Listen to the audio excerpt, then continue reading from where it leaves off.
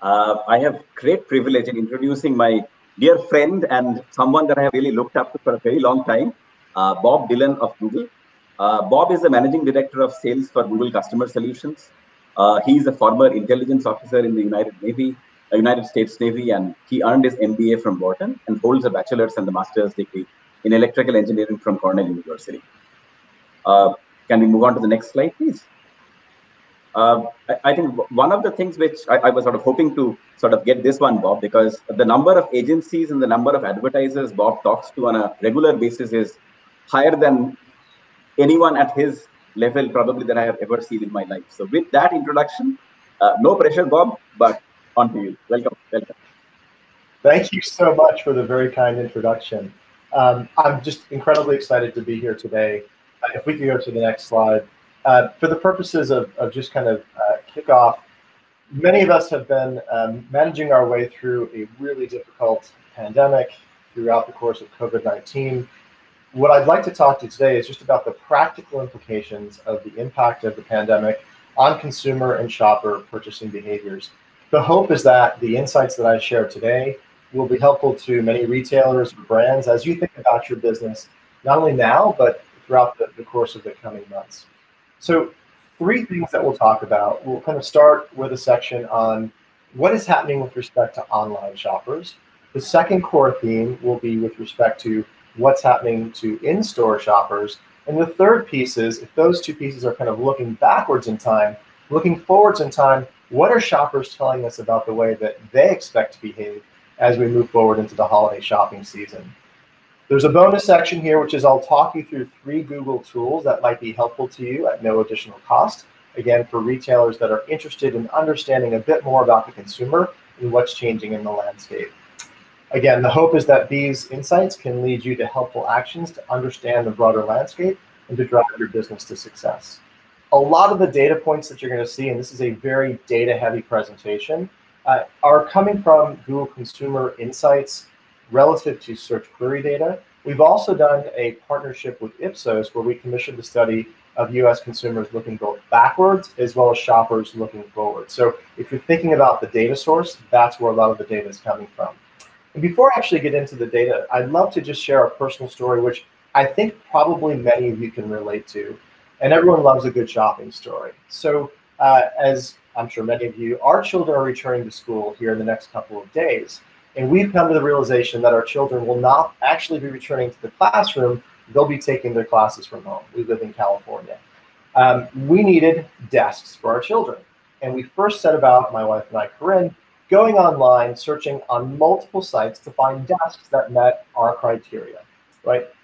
Uh, basic drawers in the desk, a basic desktop, a relatively low cost. And what we found was that many, many online retailers were out of either out of stock or actually couldn't ship to us within a reasonable period of time. That was a huge concern. So we ended up scuttling the whole idea of buying online. We couldn't wait one or two months for a delivery, and we decided to build our own. That meant going to buy pieces at the container store and pieces at Home Depot. At the container store, we actually used the buy online, pick up in store capability, something that we had never done before, but it was incredibly convenient. When it came to buying the actual desktop, we looked across Home Depot, we looked at Lowe's. The conclusion we came to was that that product actually wasn't in stock in stock in most of those locations, but there was one location in a, in a nearby community called Milpitas where Home Depot had three of those desktops in stock. So in the course of just a couple of hours, we did all of our research online, and then I jumped in the car and went to both of those retailers within a one-hour period and picked up all the pieces that we needed. I essentially consolidated our shopping trip, and we did it in a very safe way, a very efficient way, in a way that got us everything that we needed in a relatively short period of time.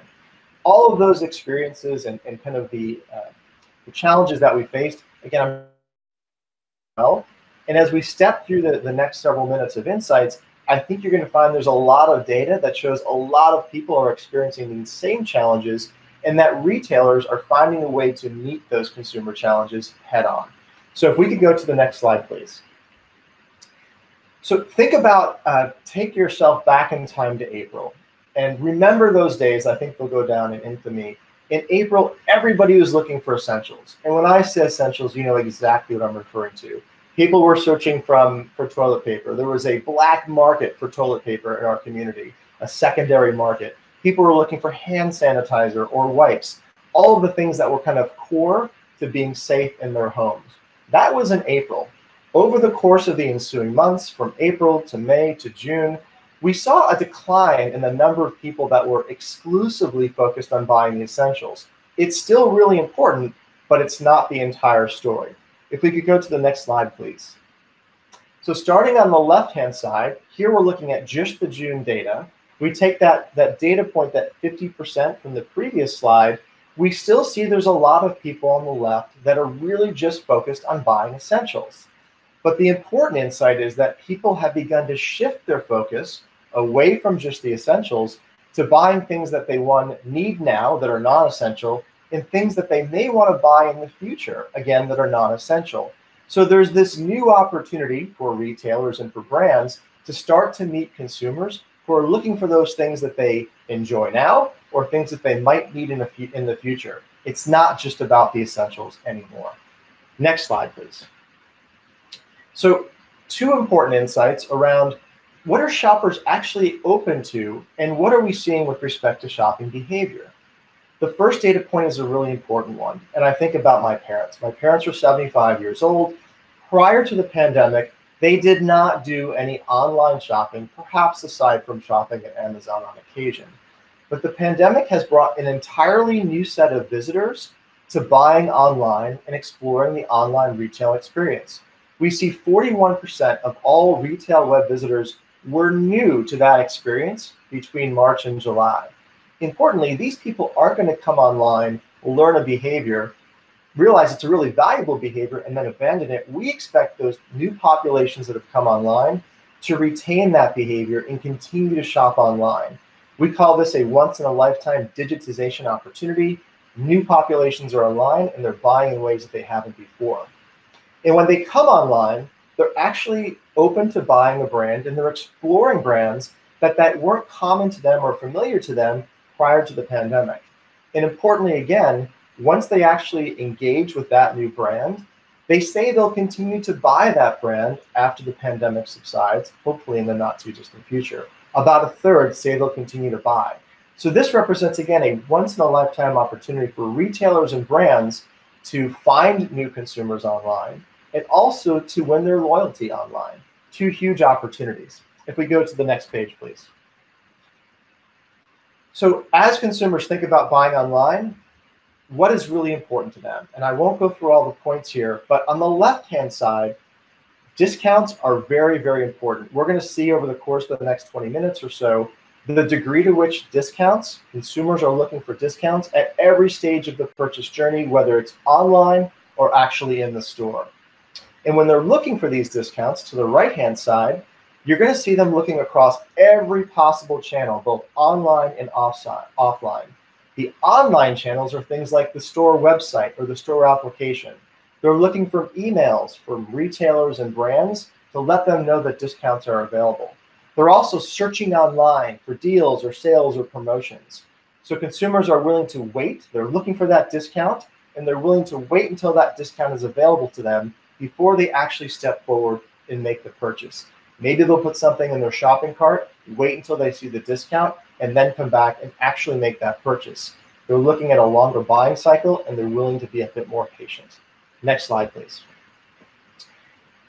Also importantly, there's a new set of behaviors and a new set of heightened expectations with respect to shoppers. There's a real focus on quality. There's a focus on is something in stock? And there's also a focus on getting it delivered to my home at no charge to me. So on the top left-hand side, this concept of quality, we look at Google search query data globally on a year-on-year basis, and we've seen a 700% increase in the number of people that are actually searching for the best grocery delivery. In my family, we actually never purchased groceries for delivery to our home online prior to the pandemic. We are doing it now, and it's a behavior that will probably continue after the pandemic subsides. On the, on the right-hand side, there's also been a massive increase in the number of queries that are focused on with free delivery, a 300% increase in those types of queries. The core expectation is that consumers don't want to pay for something to be delivered to their home. It's a convenience issue. And on the bottom left-hand side, importantly, consumers are very concerned about shipping delays. We've seen a, a real backup in uh, FedEx and other home delivery mechanisms. They're essentially operating at full capacity. Consumers are aware of this and they don't want to see shipping delays. And if they do have a shipping delay, they want to be closely informed as to when something will actually be delivered. So about half of consumers say that they actually expect to be informed when there is any kind of shipping delay. Again, all of these insights are really important for retailers to keep in mind and brands to keep in mind as they engage with consumers now and in the future. Next slide, please. So closing out the first section, which is really focused on online shoppers, three or four key takeaways. We saw essentially in April, shoppers exclusively focused on just those essentials. They've moved away from that and they're open to buying things that they not only need now, but will need in the future. We've also seen an entirely new population of shoppers buying online and buying through an online retail experience. And as they do this, they're open to exploring new brands. And once they establish that relationship with a new brand, a good number of them are willing to stay with that new brand. So again, a huge opportunity for maybe those fighter brands looking for the big chance to, to build a consumer relationship. And when consumers buy online, they are expecting a discount and they're willing to be patient and wait for that discount. Also, when they buy online, they're looking for a lot of information about delivery. They want to know that delivery is free. They want to know that it's available, first of all. And when something is going to be delivered, they want to be kept up to date on when it's actually going to arrive at their doorstep. And they'll be very frustrated if it doesn't allow at the expected delivery date. So that closes out the online shopper section. But let's also talk a little bit about the evolving role of the store. And in my introduction story, I talked a lot about big box retailers, our experience at IKEA, the container store, and, uh, and of course, Home Depot. The role of the store has changed in a very big way. And we've seen some winners or losers in that change over the course of the last several months. And we think it will continue to evolve over the course of the next quarter or so. So if we move to the next slide, just to establish a baseline around in-store shopping we go back to January and think of this as a baseline. We had 52% of shoppers said they visited a store or mall in the past two days. And as you would expect, as we move through time and as the pandemic increased in severity, in April, we saw really shoppers being very concerned about their safety. Only 28% were then visiting a store. The good news is that we're now seeing shoppers return to the store. We only have data up to June, but you've seen we've moved from 28% in April up to about 36% in June. And my expectation would be that if we were to look at more recent data for July and August, we'd see even more shoppers returning to the store. So this is a good trend. Shoppers are feeling a bit more safe. They're feeling better about the uh, mechanisms that retailers have put in place to ensure shopper safety. And as a result, they're willing to come back to the stores to buy not only the things they need, but the things that they want. Next slide, please. I think another important piece to keep in mind is the role of the shopping experience in store has actually changed in a very meaningful way. The days of a family showing up to a mall, spending hours roaming through the, the, the halls of the, the mall together, those days are behind us, at least for the time being. We see about 60% of consumers or shoppers saying they're just going to spend less time browsing in the store. I'm surprised that number is actually not just a little bit higher. We see about 50% of shoppers saying that they're going to spend more time planning their trips. So they're not going to just jump into the store and wander the, the halls of the store the, or the uh, aisles of the store. They're going to spend their time strategically planning out where they're going to go and making sure that their shopping trip is highly efficient. And they're going to do that through a number of mechanisms, building their plan essentially. They're going to look for deals and promotions, and they're going to do this online. About half are going to, are going to do this. They're going to be hyper focused on understanding if something is actually in stock and available in the store. This goes back to the Home Depot example that I shared with you, where I was able to find out that there were three of a specific product sitting on a shelf in a store that wasn't too far away from me.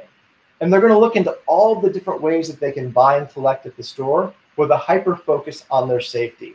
They want to be in, they want to be out, they want to be safe. And a lot of them are willing to do this early reservation to buy online and pick up in the store. Again, very consistent with our experience, which was a great one at the container store. So if we go to the next slide, please. I mentioned again, as, as I thought about my trip to Home Depot and to the container store, I wanted to, to essentially do one trip, be in the store and out as quickly as I could. And most US consumers agree with that philosophy. We see about 70% of consumers saying that they're just consolidating their shopping. And they're willing to make, importantly, a number of sacrifices as they consolidate that journey. They're willing to not always get the lowest price. They're open to exploring new brands and move away from brands that they would normally buy. They're also willing to not only always shop at their preferred stores for all kinds of reasons. Maybe it's just overly busy. And they're also willing to explore this idea of curbside pickup, which is an entirely new behavior. So these themes around consolidation, but importantly, recognizing that there's a lot of sacrifices that consumers are willing to make as they seek to drive this consolidation. Next slide, please. A theme that I hit on just a moment ago, but is worth kind of surfacing at a higher level, is this notion of curbside pickup. I had never done, and my family had never done curbside pickup until about three months ago. And now it's somewhat the standard of how we approach our retail experience. On the left-hand side, you can see how consumers in the US and globally are changing their search behavior and they're proactively searching for concepts like curbside pickup and concepts like click and collect. We've seen a 3,000% increase globally year on year on terms like curbside pickup and a 600% increase on click and collect. This is a massive phenomenon that just didn't exist before. And I think another important insight is on the right hand side. Not only are people building this new behavior, they actually think that once the pandemic passes by and there are no longer restrictions, this is a behavior that they see value in, this idea of curbside pickup, and it's something that they plan to do as they move forward in time. If you think about it, retailers are making a large investment in curbside pickup, building out the infrastructure and the store space to make this happen. Consumers are building the behavior and practicing the behavior and getting value out of the behavior. So as both parties receive value from this new way of engaging, it's probably something that's here to stay. So if you've been thinking about not making that investment because you're not sure it will be here for a long time, we think it's here to stay. Next slide, please. Now, your question might be, look, there's a lot of changes in consumer behavior. Is Google doing anything to improve the consumer, the shopper experience, or the retailer experience? And the short answer is yes. I won't go into a lot of detail here, but if you go into the Google shopping experience, you're going to see a lot of new capabilities and features that just simply didn't exist several months ago. We're now providing information on availability and distance for retailers. If a retailer offers a buy online, pick up in store, we're surfacing that in the user experience. We're also surfacing the idea of curbside pickup. All of these are meant to just reduce friction in the buying experience and to really help retailers tell consumers the full story of what they have to offer. Next slide, please. So key takeaways for in-store shoppers to close out our second section.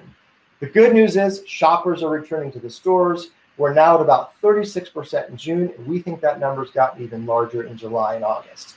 When shoppers go to the store, they're taking a lot of time to really plan their store visits, and they're using a number of online resources to ensure that their store visits are meaningful and create the value that they need. When they go to the store, they're consolidating their trips. They're visiting fewer stores and they want to be in and out. And as they actually make those trips and plan those trips, they're willing to make sacrifices on multiple dimensions, whether that dimension is price or um, whether that dimension is uh, buying online, picking up in store, choosing a new brand, choosing a new retailer. They're willing to make sacrifices on multiple dimensions. And this idea of curbside pickup, it's a concept that's probably here to stay as both consumers and retailers invest and build that behavior. So let's go to our third and final section. So far, we've been talking about what we've seen from consumers looking backwards. We've also done a survey, again in partnership with uh, Ipsos, a COVID 19 tracker, where we talked to US online consumers who actually plan to shop for the holidays online. We talked to about 745 consumers.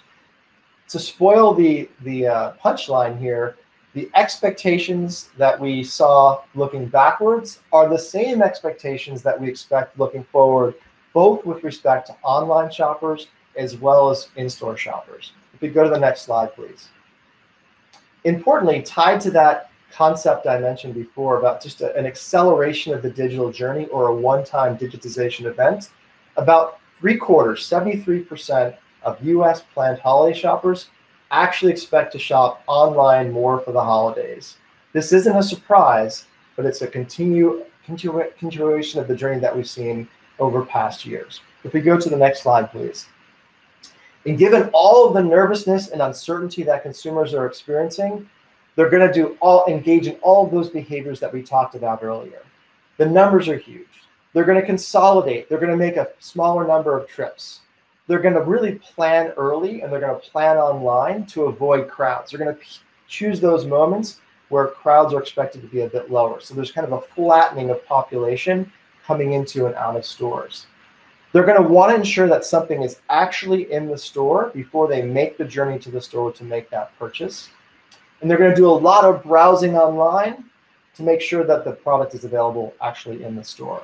And finally, back to that point on price, which we've made a number of times, they're going to hold off on any holiday gift buying until they actually see a discount available to them. And they're willing to be patient because they're going to start a little bit earlier, giving them more time to find just that perfect price. Next slide, please.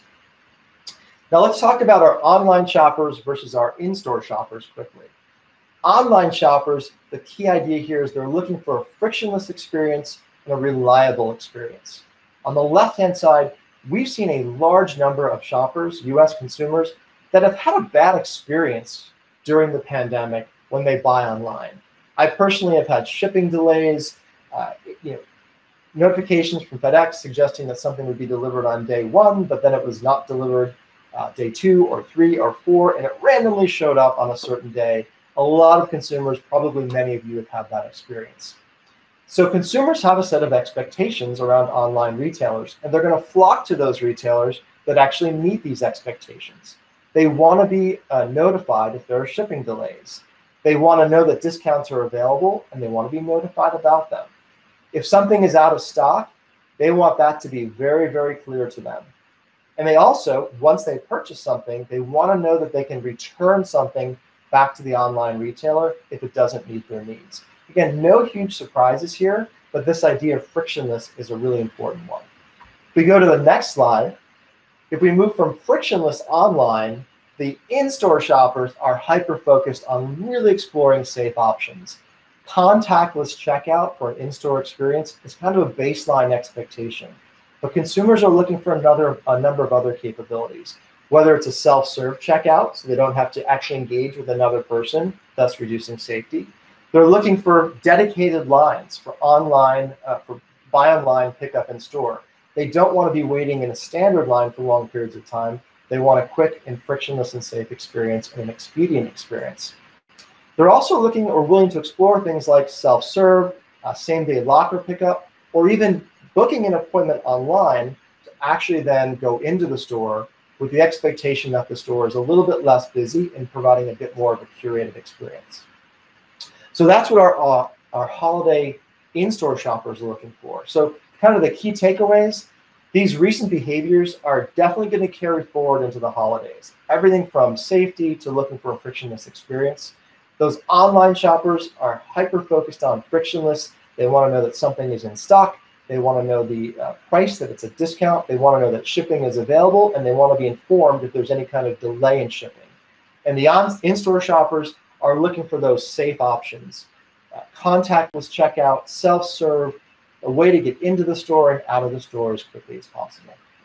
If we move to the next slide, if there's one key takeaway from all of this, the time to prepare is now. We think that the holiday shopping season is going to move forward in time and rather than a number of very uh, intense spikes on days like Black Friday, it's going to be much more of a consistent drumbeat that starts much earlier. So before I conclude, I did just want to offer uh, an insight into a few of the tools that uh, Google offers that are absolutely free of charge that might help retailers provide a better experience for their consumers through the holidays. The umbrella on this is the Google Holiday Retail Toolkit. And if you're actually looking for any of these resources, just go into the Google search box and actually type the title uh, of each of these slides. The Google Holiday Retail Toolkit, it's about helping you discover new audiences, strengthening your digital storefront, and just generally giving retailers a solid foundation for the holiday season. We go to the next slide. And there are two capabilities inside this uh, toolkit that I think are particularly compelling. The first is rising retail categories. Now, imagine that you could get access to all of the Google search query data globally and understand on a day-to-day real-time basis what are consumers actually looking for, which categories in retail are on the rise, which are on the decline, and even which keywords are driving those increases or decreases in demand. This is the purpose of the rising retail categories. It's an incredibly powerful tool. Even if you're not in the retail uh, business, it's amazing to see what consumers are actually doing, again, on a real-time basis through a very simple and friendly user interface. Next slide, please. The final piece that I wanted to mention was the Google Grow My Store tool. And the concept here is simple. If you have an, an online store, you go into the box here, you enter your website URL, and what we'll do is we'll give you a customized support, a customized report that will essentially benchmark your store relative to others that are similar to yours based on the product information that you have, the mobile experience, the degree to which you do or don't provide flexible fulfillment, the core idea being to give you kind of a scorecard about areas that you might want to look into to ensure that your store is compatible and competitive with others in the marketplace. With that said, I actually want to uh, thank again everyone for the opportunity to share these insights with you. I hope it was valuable to you. I hope it will, if you're a consumer, it was interesting. And if you're a retailer, I hope it was helpful to you as you think about success. And I think with that, we're going to turn over to a couple of questions uh, if we still have time. We do. We, we do, Bob. Thanks. Really appreciate that. Um, before we jump into it, there are a few questions that, that came in from the chat and some of the insights that you provided. I think with us speaking to a lot of retailers, small business to mid markets, a lot of valuable insights. Something I took away is is the 41% of retailers who who visited websites were new. I think that's that's crucial information for a lot of brands that are looking to get their name out there and get in front of customers, let alone just new customers. And the other piece of that is the 32% of, of new purchases were, were folks that purchased from brand they weren't even aware of. So all of that is, is definitely value, very valuable information. So thank you to, to you and the, the Google team for sharing all of that. Um, we'll start with the, the first question. This one is a, a kind of a three-part question. So um, it's it's going to be based off, do we have any guidance on messaging and what do consumers want to hear from brands right now and what will they want to hear come the holiday season? So I, I heard um, guidance on messaging. What do consumers want to hear from brands specifically? And then what will they want to hear as we move forward? Um, okay, three part question. I'll try to keep those three things in mind. So I think with respect to uh, to messaging, I, I, I hit on this a few times over the course of the last few minutes, but safety is is paramount. Safety and efficiency, I think, are two concepts that are paramount. In safety, a lot of this is really about the in-store shopping experience. I won't rehash some of the content that I covered, and the efficiency piece is around, um, you know, being informed of, of shipping dates and, and really holding true to those shipping dates. But all the concepts of curbside pickup, buying online, picking up in store, all of those things certainly hold hold true.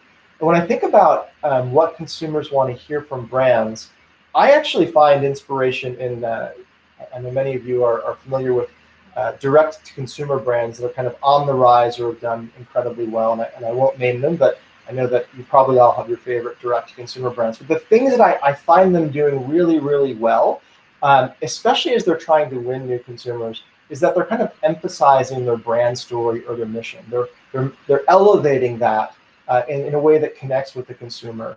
They're, they're also doing a nice job of of guiding their shoppers to a, a fairly curated and simple uh, product set. So they're not kind of showering them with the universe, but narrowing them into things that might actually work well uh, with the consumer. Once they've built that brand relationship, the D2C brands are doing a nice job of just um, strengthening that relationship through continued interaction with the consumer. And then the final piece, I think, just that the DTC brands do real well. they they really do a nice job of um, putting the customer experience above all else and making sure that that customer experience is, is a fluid and frictionless experience uh, at every stage. So I hope I hit on the three questions. Um, happy to move on to others. Absolutely, absolutely. You did. Thank, thanks, Bob. Um, the second question we did get in, easy question, I think. When should we start running media for holidays? Yeah, I hit on this a little bit. I, I think the there are some kind of keywords to think about. Like unpredictable is a word that comes to mind. Um, so I'm trying. I'm sitting here trying to predict, but I think the word unpredictable comes to mind. And if anything, early is uh, something that we should all be focused on. So I talked about that month of September as probably an important moment for holiday shoppers and holiday retailers to be uh, thinking about the future. Um, I think those are two. We, we were in a conversation with, with Udayan from uh, NetElixir, who obviously you've, you've met, and, and, a number of other e-com partners. And uh, we, we just generally agree, it's rare that everyone agrees, but we agree that the shopping journey is just going to begin much, much earlier, uh, you know, as early as three months prior to the holidays. So it gives us time to, to plan. I would recommend to any retailers that are thinking about their holiday season to just start ramping up their media uh, as early as mid-September. And that serves two purposes. It, it, gets those consumers that are early in the shopping journey, but it also um, allows a retailer to kind of collect the data that they need to make informed decisions as they move further down uh, the timeline. And especially as you think about, we talk a lot about automation at Google. Um, in order for our algorithms to learn, they need a lot of data. The more data that they have, the more effective they can be. So by mm-hmm. starting a little bit earlier, we feed our, our algorithms and our machine learning with the data needed to make really smart, informed decisions later on. So, so early uh, is the key message, and expect an unpredictable ride. Absolutely, I think we echo the same same message at, at NetElixir. We try to get our clients up and running by by July, early August. So Perfect. Thank you for that. Yeah. Um, we're, we're running early, so there's a few more questions that, that we have. Um, sure. So question question three that came in. Do you have a point of view for, for SMBs on how they might be able to compete against some of the big retailers this season?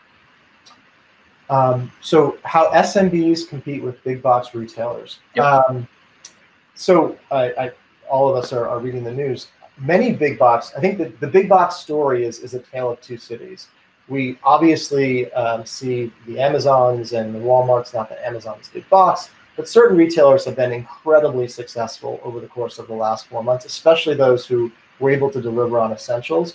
We've actually seen a large number of big box retailers suffer, and, and many, um, we've seen a, a number of, of, smaller retailer uh, brands uh, leave the marketplace, as well as some of, of those that we knew for uh, decades. So I think there's this, it's a seismic shift. There's a unique opportunity.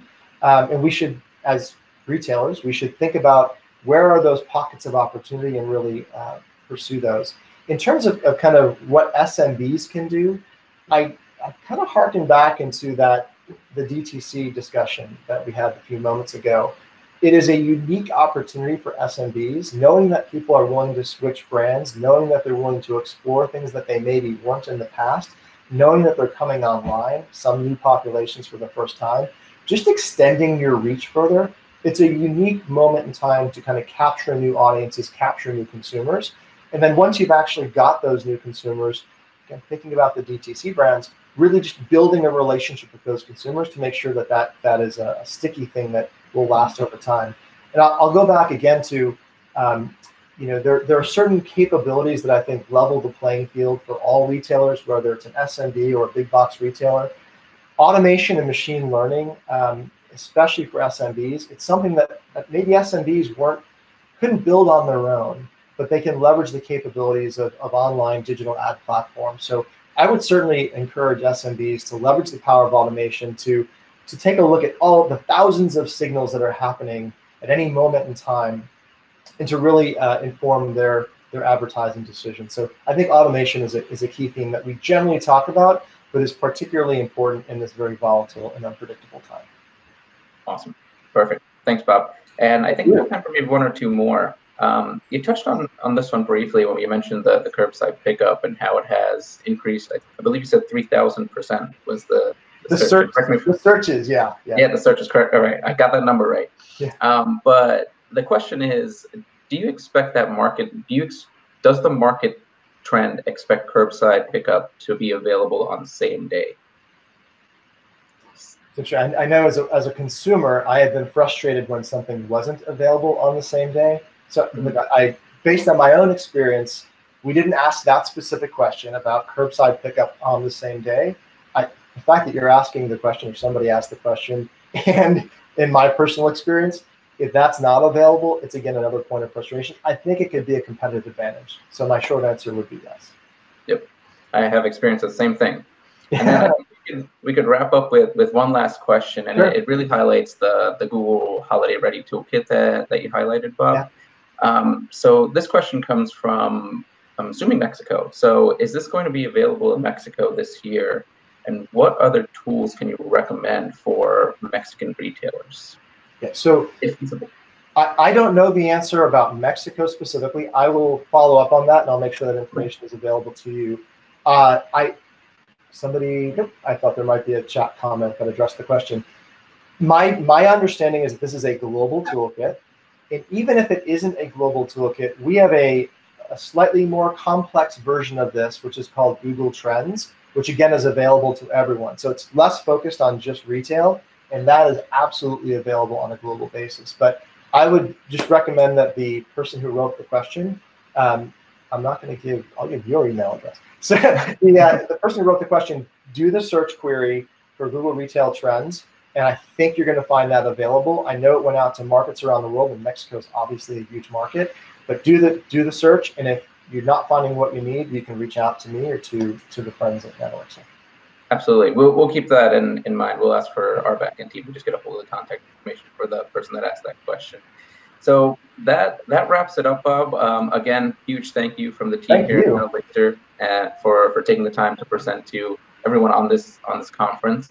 Um, any last last word before we transition out? Just thank you. I was able to. Uh, I, have watched several of the sessions earlier in the day and was inspired, and I'm going to continue watching. So uh, thank you, and uh, I really appreciate the opportunity to be here with this audience. Thank you. Absolutely, Bob. Perfect. So to to everyone on the call. Um, we, we, for the next presentation, I'd like to introduce you to our, our Microsoft partners, and we'll get started with them in at, at 1:15. So we'll take a quick four or five minute break and grab some lunch, and we'll head on head on right back here.